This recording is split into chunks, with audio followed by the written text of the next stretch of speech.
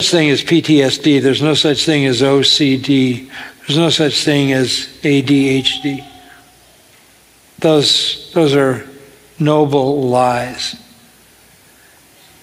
To basically give the excuse to, in the end of the day, to medicate people. Mm.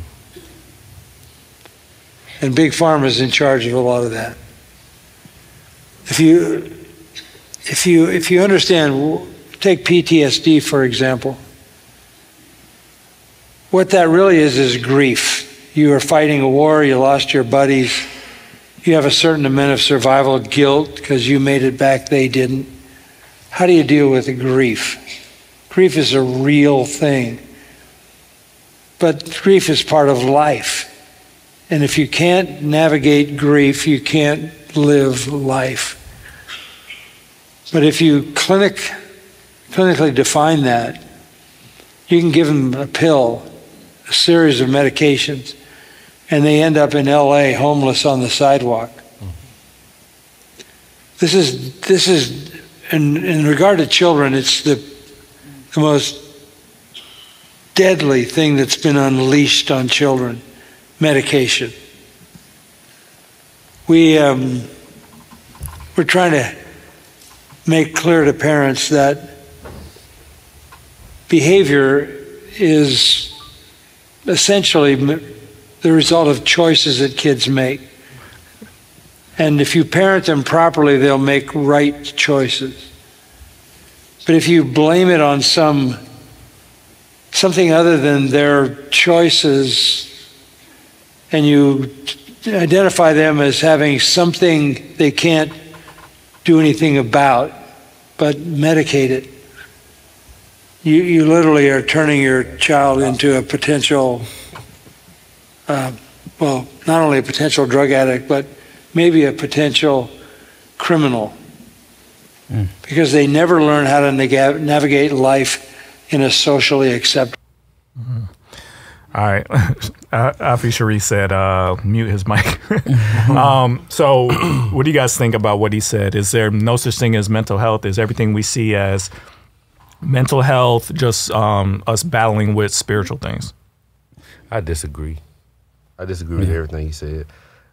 I disagree with him for a long time when he said that Jesus didn't deal with cultural issues. He said that one time. Yeah, he said there's no such thing as systemic racism. Yeah, there's a lot of things he said. There's a lot of stuff I don't really agree with. Um, I think mental health is in fact real. Uh, we see it every day. Shoot, he sounded like he was struggling with mental health. Yeah, you know. but you can look in scripture and see people who dealt with mental mental mm-hmm. issues. You see Elijah in, the, in, the, in running from uh, Jezebel. He's suicidal you look at the Psalms and the things that David has went through. You had mm-hmm. where he lost a child because of Bathsheba, and then he had another son trying to kill. You don't think mental anguish and things of that nature were going on? Mm-hmm. Um, his his daughter got got raped by by one of his sons. Like, you don't think she was affected by that? You don't think that messed her up, especially in her culture where now she has no value as a woman? You don't think that caused some kind of mm-hmm. mental trauma, mental kind of issue? So to say, uh, mental health is not real or like PTSD and stuff, it just like I think you just reaching. You know what I'm saying? I um, I I have to say that I felt similar similarly to him um, in the past. I did a spoken word piece um, called Pushers because mm-hmm. um, somebody in my family was dealing with um, you know being diagnosed with a mental health issue and given drugs, and I felt like I could see some of what he's saying about there is a industry that is pushing drugs on mm-hmm. kids, pushing drugs on people first, and not even exploring what could be happening spiritually to them. So I think there is an element to what he's doing. But honestly, I, I have to say this: watching our friend Kenny mm-hmm. struggle with mental health. Our, yeah. our, friend Kenny, he's on our wall here. One of these pictures is him.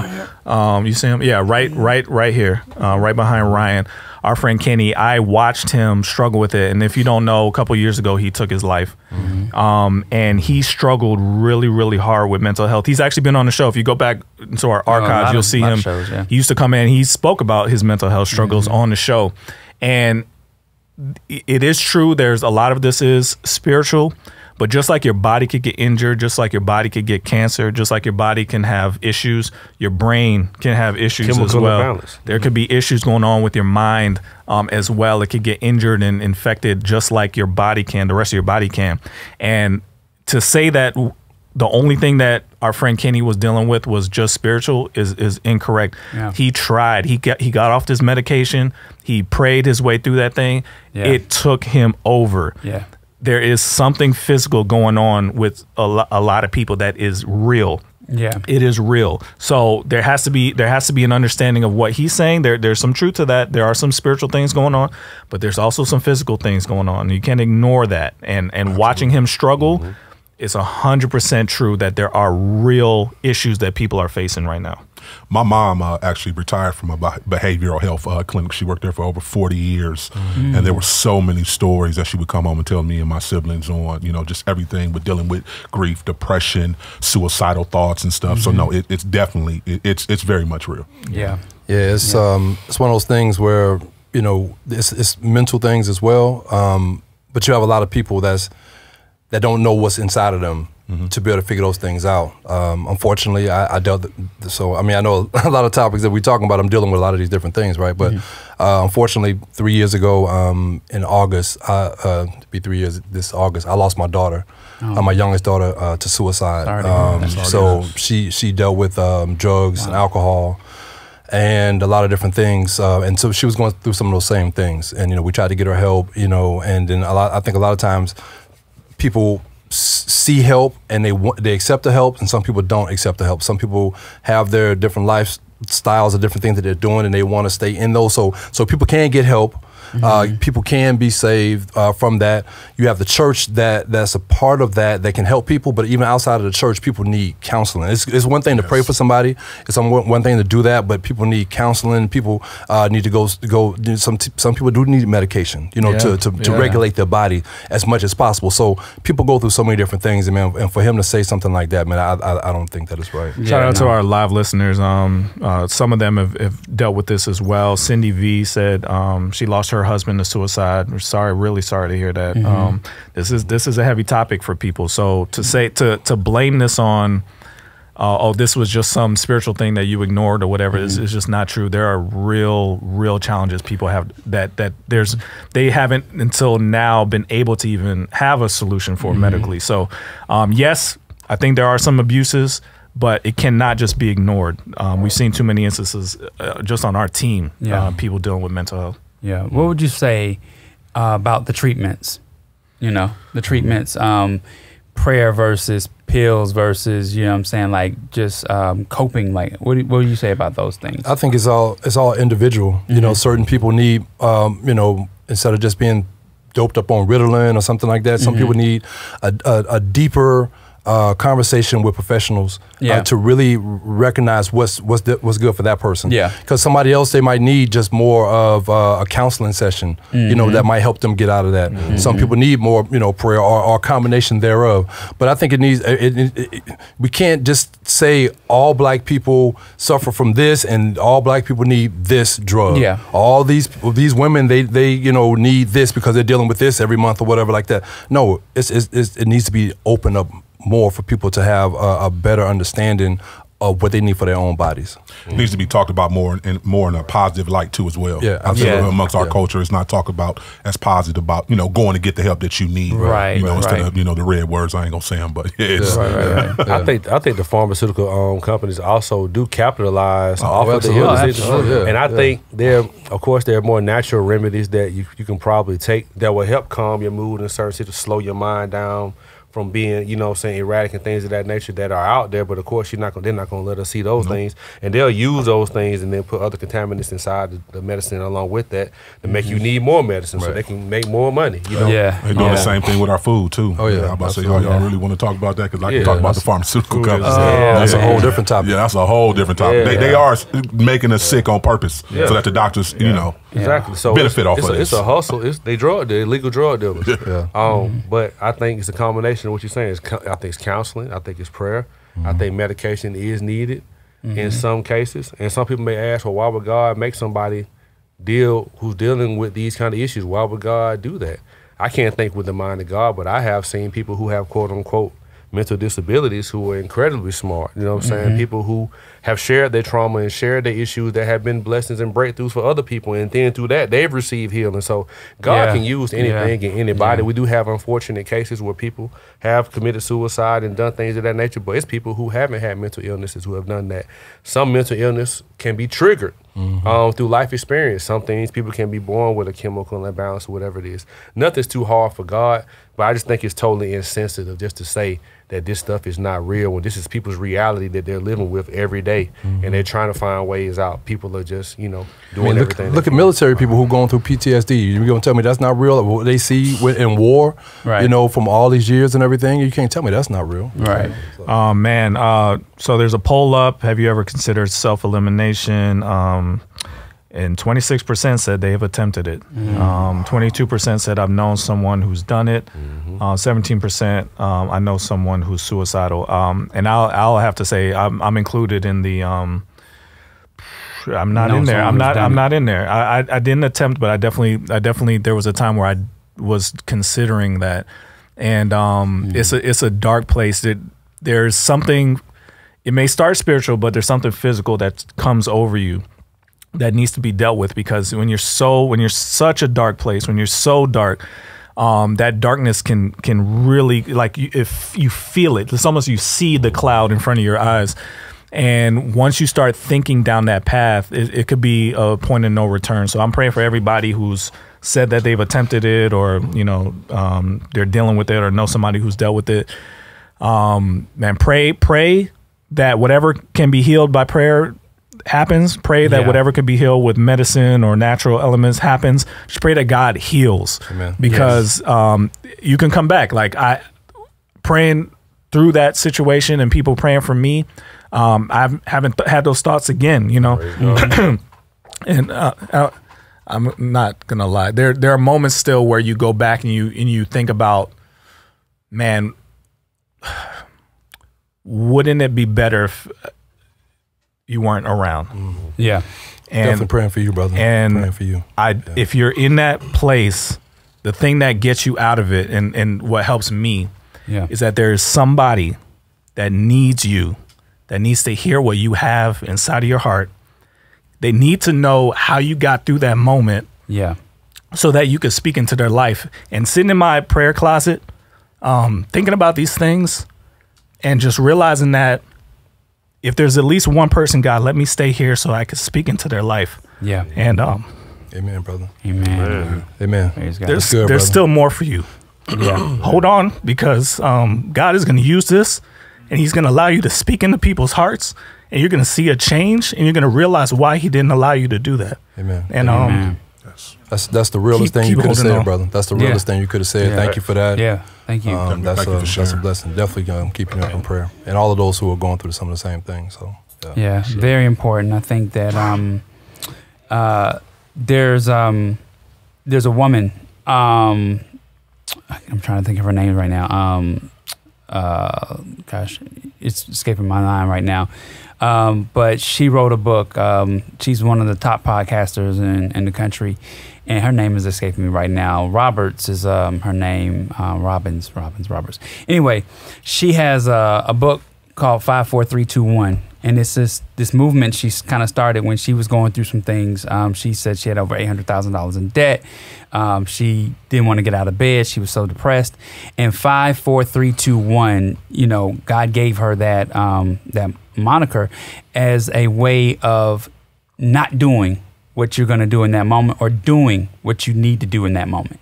And so I was looking at her um, her her Twitter feed one day, and people were saying that five, four, three, two, one caused them to get down from where they were in that dark mm-hmm. place, right? Like I mm-hmm. almost killed myself, but five, four, three, two, one, and I stepped backwards instead of stepping forward, Yeah. right? I knew it was it was the way to go, and so when you think about those moments, right, deep breaths and and um, just you know going into a place where you focus on God and you focus on, like you said, the people who love you and who Yeah. need you, mm-hmm. who are around, um, and think about the pain that it causes on you know on them. You know the pain of of them not hearing your voice again, of them having to you know um, deal with life without you.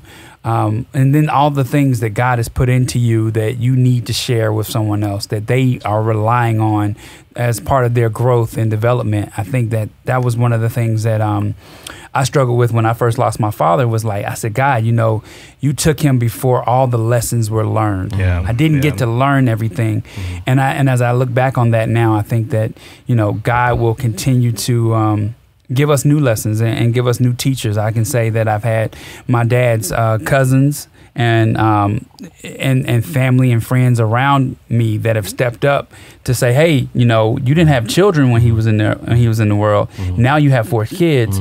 What are some things that you need? What are some things that you want to hear about? What are some things that you're concerned about? Right? Um, and so I think that we have those people in our lives um, to remind us that God still has purpose for so many of us and so many things that we can continue to do um, for others that we don't necessarily know of. You know, I look at this show. Um, Sean's father was an evangelist. My father was um, uh, an associate pastor, and we think about how man, should we have gone out and actually ministered the gospel the way that they Yeah, did? And it's like, well, we're doing that through this show. Mm-hmm. You know, for 18 years, we've been consistently telling people about the goodness of Jesus and not and asking them not to forget about him right? And so i think that in this moment we see that you know we can be used we all can be used in so many different ways. Your testimony I, I just want to exchange numbers with you and just talk talk your ear off because I just want to know more about you know how you go from how you've gone from so many extremes and the things that you've overcome. Absolutely. Um, It's been uh, a blessing to hear, um, um, and even DJ Focus, your testimony. It's just like God has so much in all of us, even the people on this live in this chat. It's so much more to be said, you know, than what we say, you know, in a conversation to our friends and family. But the world needs to hear our story. Yeah, I appreciate every, everybody in the chat saying saying uh, well wishes to me and all that. Yeah. Um, I just I just think going back to that moment when you feel that way, God has shown me over and over again that if you're in that moment, there is somebody that needs you. Yeah. They need to know how you made it through that time. So I just want to encourage everybody. Like I, he's proven to me over and over again, even through your darkest times. Like we, we both lost our fathers. We both had issues um, with with you know children um, being born in this world. Yeah. Those are some dark moments, but man, seeing seeing the result of the work that God did in you during those dark times, Yeah. man, it just it just brings it's it's the it's the biggest pleasure I've had, the biggest joy I've ever had in my life. Yeah. Is seeing that the the dark times where God was working on me, mm-hmm. you see the the purpose of it. You see who he was getting me ready for right in mm-hmm. front of your face where you mm-hmm. see the words Yeah. you're saying they're landing on them and, and and you just know it's like man thank you god for when when it's, it's hard to understand when he says thank you uh, praise god for the hard times too Yeah.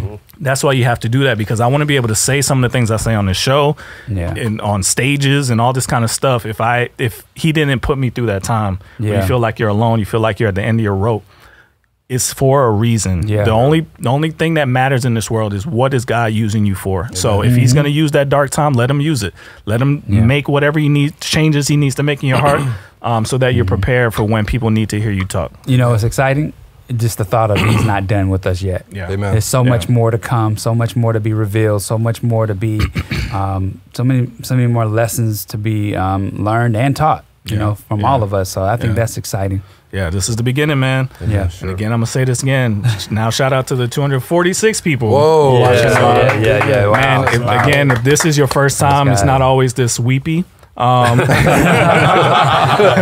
apologize for that. No, that's the right time. But um, please is good. subscribe. Please lock in with us, man. We we we. This is this is what we're about. We're trying to we're trying to grow a community of people who love Jesus that want to make an impact in the world, whether Mm-hmm. Yeah. it's creatively or in business or wherever. Yeah. To motivate you to to to deprogram all the things that you learned that were not of God, Mm-hmm. instill in you all the things that that are of God, so that you can make a difference in whatever industry you're in. Yeah. That's why we're here, man. We're, we're we're the reason we break down all these topics and we, you know, what did B Simone say about such and such? Why did so and so say about such and such? It's so that we, when we get into those situations, we'll know what to do. This is this is like the the practice. This is the Yeah. game game pl- Absolutely. game planning where we're sharing. Ryan may say something I disagree with, and I may say something he disagrees with, but that's the iron sharpening iron to say, okay, Absolutely. now you think this, you think this. Why do you think that? Is Yeah. because my dad taught me this. Mm-hmm. Why do you think that? Is because my mom taught me that. But mm-hmm. we're we're we're getting to the root of it. It's Yeah. like, okay, this is the actual truth in the midst of all the mm-hmm. tradition and upbringing. Right. Now we need to start believing Yeah. this. You know what I'm saying? That's the point of it. So